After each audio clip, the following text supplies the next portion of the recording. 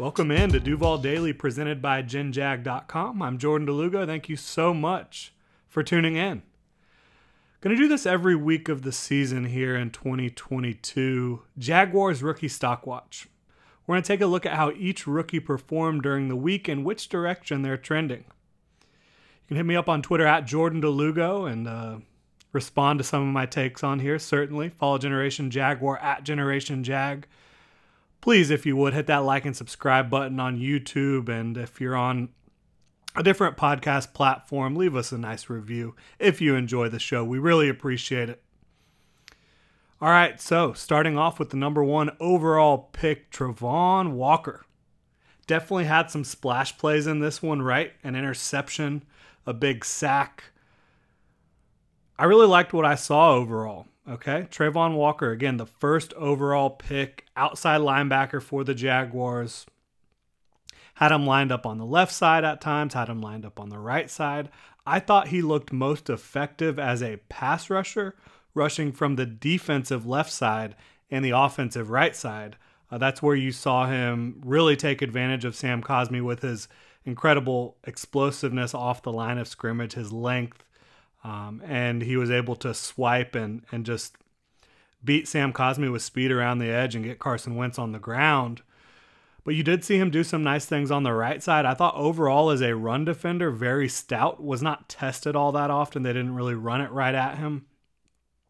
Uh, but he looked stout. He he he stayed home, uh, looked fundamentally sound as a run defender, um, and then looking at the big plays he made outside of that sack,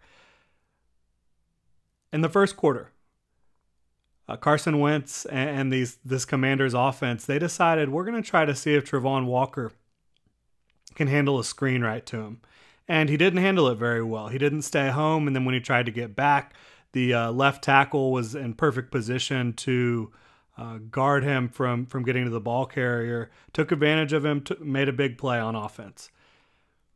They they decided to keep testing him. And that is when he picked up a really big tackle for no gain.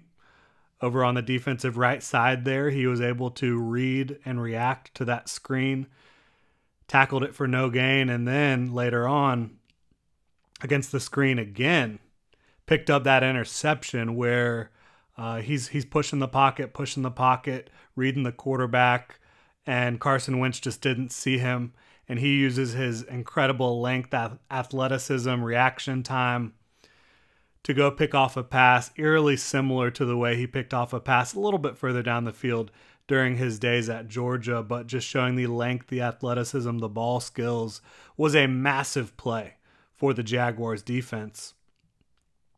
I do think he looked better on the defensive left side from a pass rush standpoint. Against the run, he was good on both sides.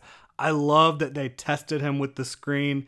He kind of got taken advantage of early. They decided to test him twice more, and uh, he said, No, sir. Big tackle for no gain, and then the interception in enemy territory that really set up the Jaguars with a great position to score. Was he dominant as from a pa- pass rush perspective? No. Uh, was he effective? Yes, he did get some pressures. Uh, outside of the sack, I thought he did do some good things the Commanders had a really nice game plan here, getting the ball out quickly, uh, moving the pocket, not really allowing the Jaguars defenders, pass rushers to pin their ears back all that often. But I think Travon Walker had a really good performance, good against the run. He made splash plays, and that's why you take people at number one overall. That is what you're looking for. Big tackles, uh, an interception, a big sack. Travon Walker provided all of that, and he's just going to keep growing in this defense. So I think you can be really encouraged by what you saw from Travon Walker in week one. I'm giving him a B plus. His stock is definitely trending in the right direction. Devin Lloyd, the Jaguars' second first round pick in 2022, they traded up for off ball linebacker out of Utah. He had a really rough start to this one, um, just in space.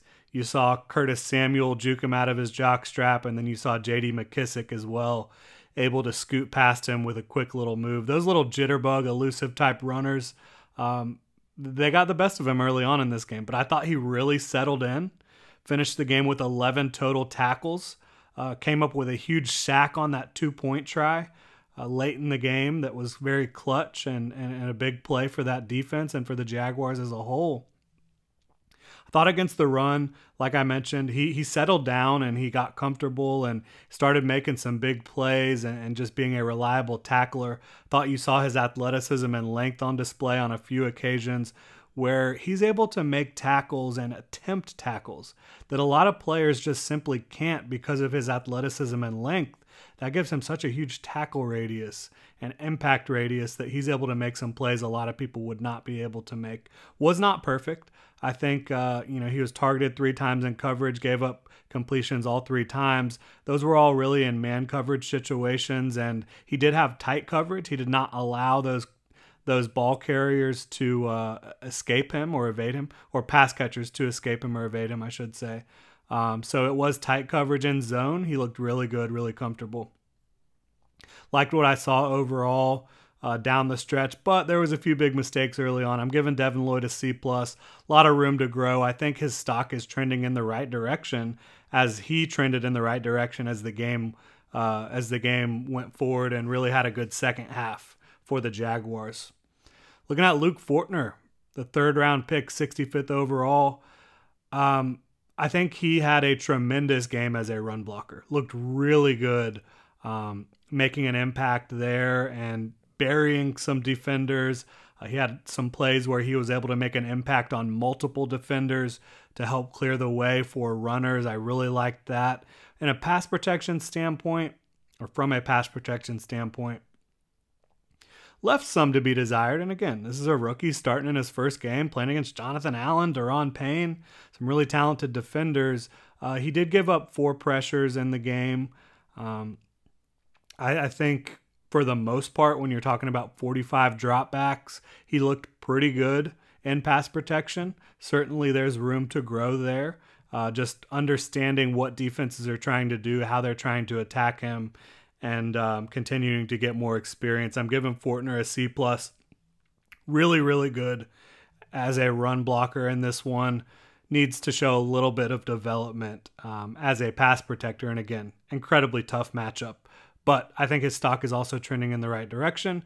Chad Muma, he only played eight defensive snaps, uh, played a ton of special teams, no glaring mistakes on special teams. He was in there close on a couple of those coverage tackles, uh, so looked like he was doing good in pursuit.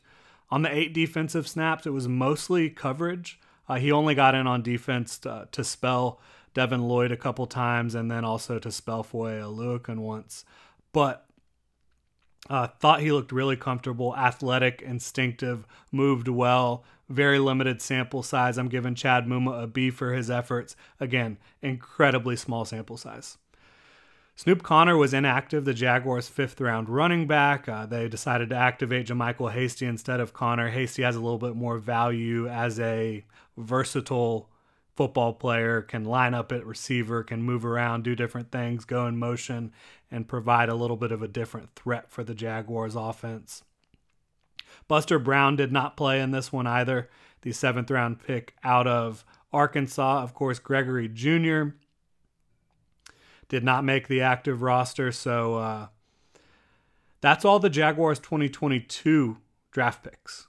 I think most of them are trending in the right direction. Certainly, Travon Walker was the brightest star out of all of them. Uh, I think Devin Lloyd and Luke Fortner both improved tr- throughout the game. Fortner had a really tough matchup uh, with some of those interior defenders. Chad Muma didn't get on the field a whole lot defensively, but when he was out there, looked good. I'm also going to go ahead and throw in Travis Etienne to this mix every week because he did not get to play in 2021. Uh, this is his rookie year for all intents and purposes. And he carried the ball four times for 47 yards, two catches for 18 yards. Did have a drop that cer- certainly would have been a touchdown. Uh, just had to make one corner miss there. And as we all know, based on what we saw from, uh, from Travis Etienne uh, throughout his college career and out here on Sunday, he probably would have made that guy miss. Uh, Benjamin St-Juste good young football player. Don't think he's bringing down Travis Etienne in the open field to stop him from getting into the end zone. Um, he was able to get open on several occasions down the field Trevor Lawrence missed him for a touchdown early on in the game that probably would have changed things. Uh, he did have the fumble, which really could have been looked at as a drop as well. Um, I thought pass pro he improved throughout the game, and I don't think they were planning on having him in pass pro a ton. But as the Commanders' defensive front really started to get things ramped up and start to really put a lot of pressure on Trevor Lawrence, the Jags decided to uh, keep their backs in the backfield to chip and pass protect a little bit more. Thought he improved um, throughout the game in that, throughout the second half. Did a much better job. But the bottom line is Travis Etienne's an offensive weapon. You want to get the ball in his hands. He can't be dropping it or fumbling it. Certainly needs to improve in that department. But when he had the ball in his hands, looked incredibly explosive. Uh, he was moving at a different speed than everyone else on the field. There was a couple times where it looked like defenders might have had him dead to rights. He's able to just use his speed and explosiveness and quickness to scoot past them I thought you saw a back who is going to be dynamic, who's going to be a big playmaker, a, a big play threat as a runner and a receiver for the Jaguars.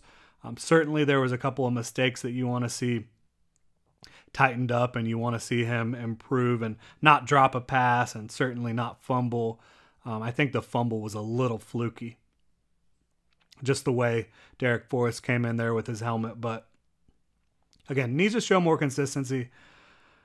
Um, but from a playmaking standpoint, this is a guy that led the NFL this week, uh, according to Pro Football Focus, in average yards after contact. You'll love to see that. Um, you'll love to see that. And James Robinson did a good job on that front as well. But I'm giving Travis Etienne a C plus because he did have the mistakes. But make no mistake about it, this guy looks like an explosive playmaker a guy who can be a difference maker, a game changer, and I'm really excited to see what he can do moving forward.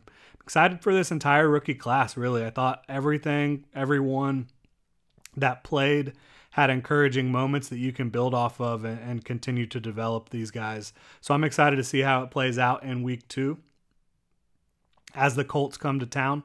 But that is going to do it. You can follow me on Twitter at Jordan DeLugo, Generation Jaguar at Generation Jag. Please like and subscribe on YouTube. And if you want to support the channel further here, you can go pick up a new hat, new t shirt, genjag.com.